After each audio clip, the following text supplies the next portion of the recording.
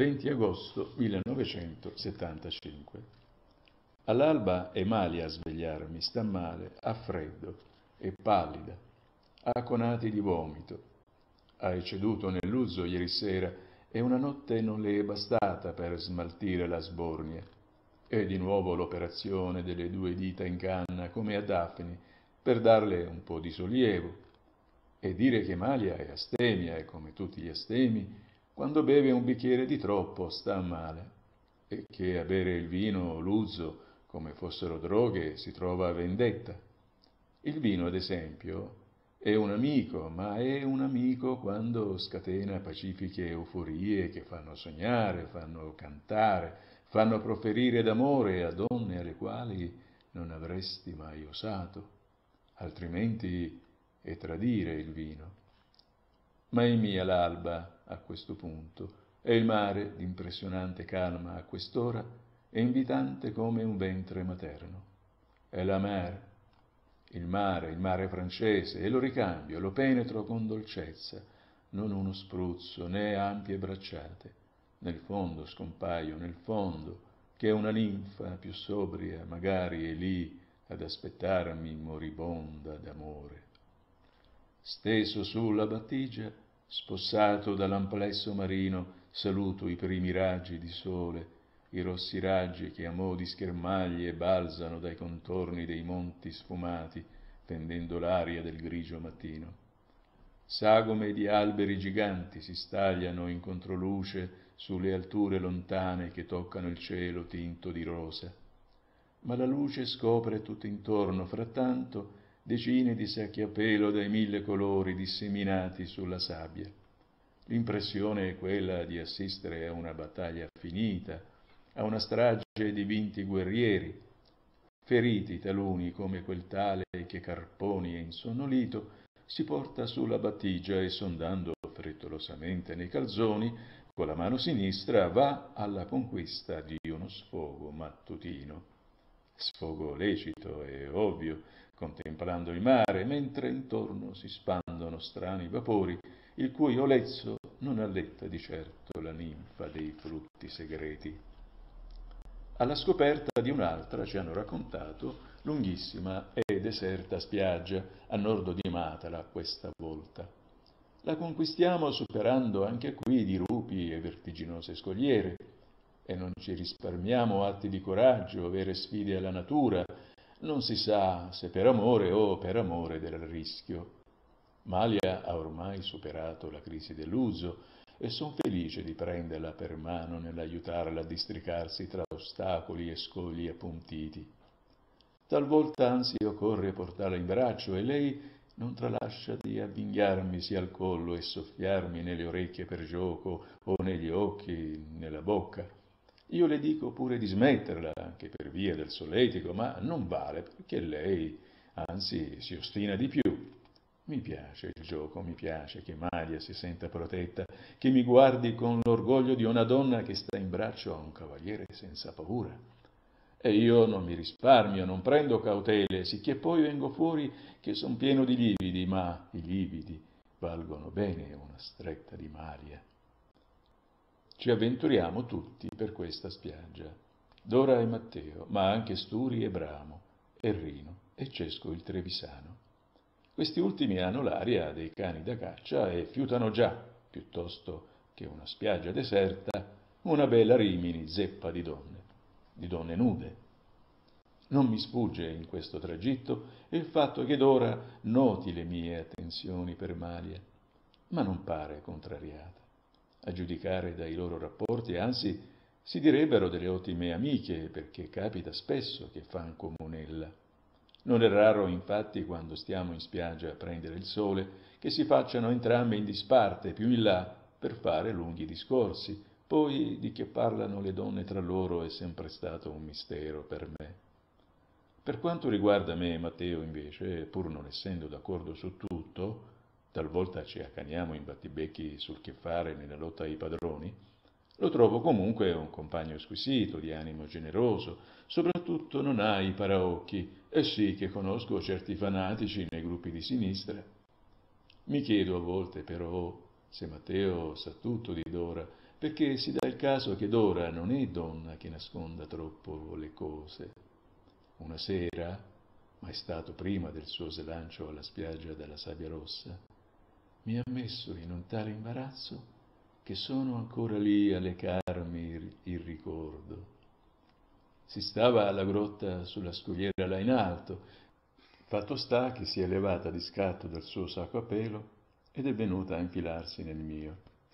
Io ci stavo proprio stretto con lei, sentivo le sue gambe strofinarsi alle mie, provavo il caldo delle sue mutande color ciclamino, misuravo l'affannoso respiro del seno e si impiastricciava la bocca, la mia, dei suoi neri capelli, e un demone s'affacciava di già nei suoi occhi celesti, i suoi tremendi occhi celesti.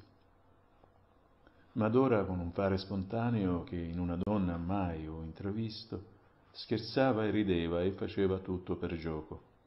Che cosa allegra, com'ero contento, sì, e cercavo con una stupida faccia comprensione agli occhi di Maria, agli occhi di Matteo soprattutto. Ma stranamente non notavo alcun disagio in Matteo, o almeno così mi sembrava. E Maria, forse faceva buon viso a cattivo gioco, chissà. Ci penso. Penso spesso alla sera della grotta là in alto. Penso al corpo di Dora che mi dava un caldo che non era d'estate. Oh, come sarebbe bello se le donne fossero tutte un po' d'ora. E gli altri disperati? Talvolta mi chiedo se il fario a coppia con Malia non susciti in loro un cruccio magari, come se Malia l'avessi rubata al possesso di tutti. È un'impressione che ho alla fine del giorno, quando, finita la corte alle belle straniere, su tutti cala un'ombra di velata tristezza. Per questo, nel rapporto con Malia, mi sforzo di essere un tantino discreto.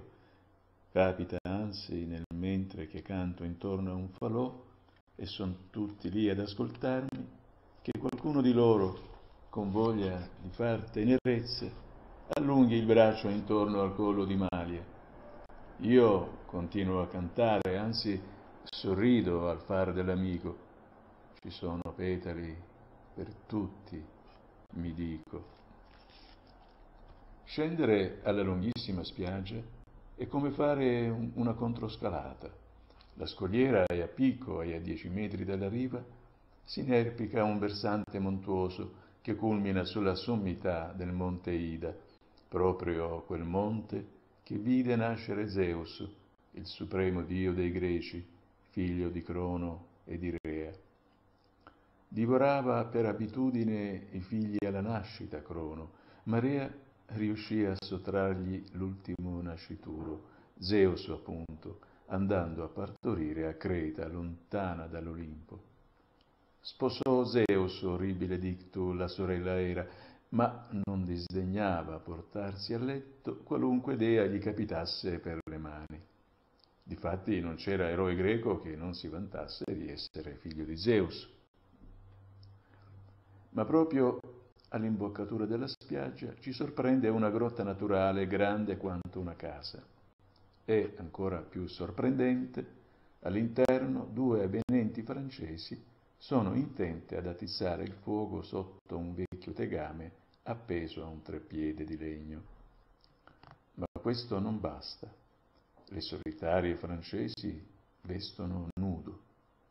Non so perché, ma come per riflesso torno sui banchi della prima scuola, quando interrogati sulla preistoria, attaccavamo col solito ritornello i primi uomini vivevano nelle caverne.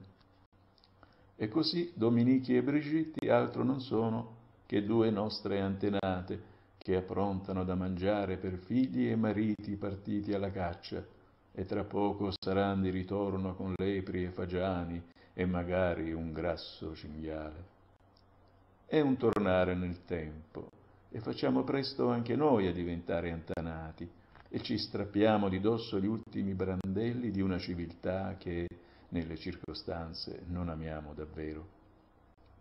Con nostra gioia Dominichi e Brigitte ci invitano al pasto, segno di un'amicizia improvvisa, è vero, ma è più un dare ospitalità degli stanchi viandanti, che sono sempre una gioia vedere in un angolo di mondo dove non canta gallo e non luce luna, dice un detto salentino.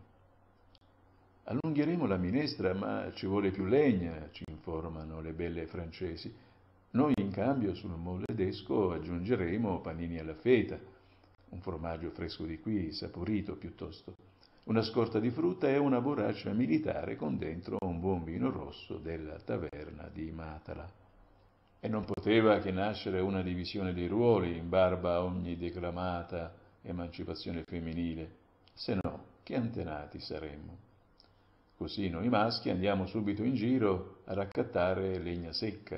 Le femmine invece si danno da fare per rendere accogliente un angolo di grotta per il bel desinare. È proprio vero che basta poco per fare una festa. Quanto occorre per versare la gioia nei cuori, quel po' di euforia che ci trasforma tutti in cantori, innamorati e poeti. E come Asclepiade, il vino è spia dell'amore. Ci diceva Nicagora di non amare, ma lo tradirono i molti bicchieri. Abbassò il viso e pianse. Un'ombra gli velava lo sguardo.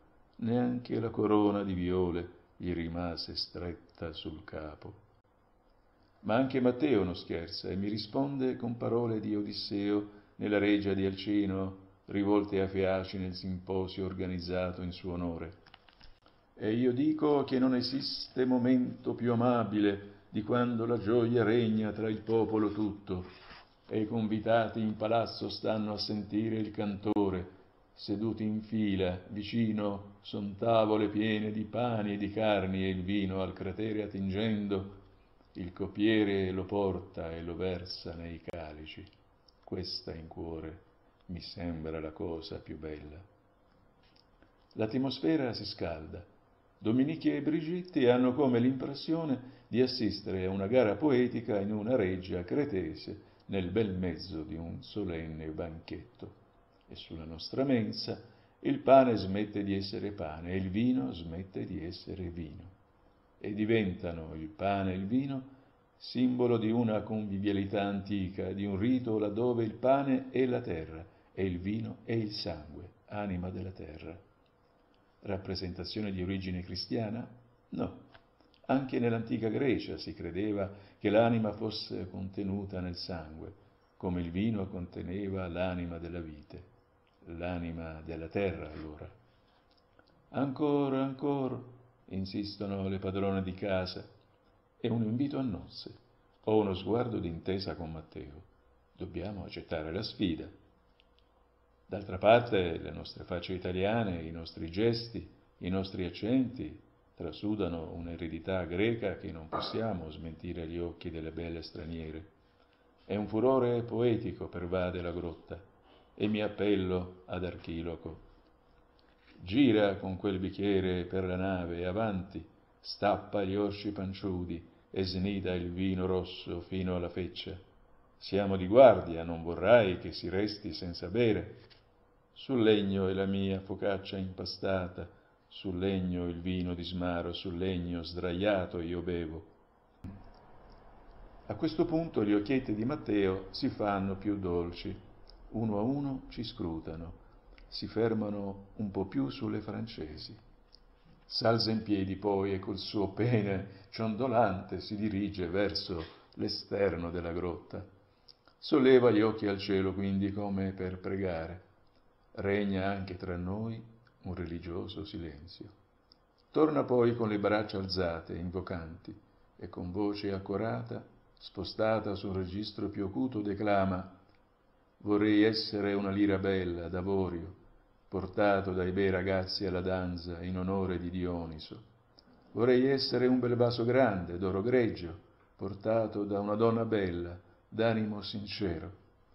E Solone, proprio il severo legislatore che tra un uomo e l'altro trovava il tempo di innamorarsi delle donne belle e anche di imberbi giovinetti, come allora si usava, in un tripudio di feste e di danze. Se ne va così il giorno e, poco prima del tramonto, abbandoniamo la spiaggia non ancora esplorata. Ma che importa?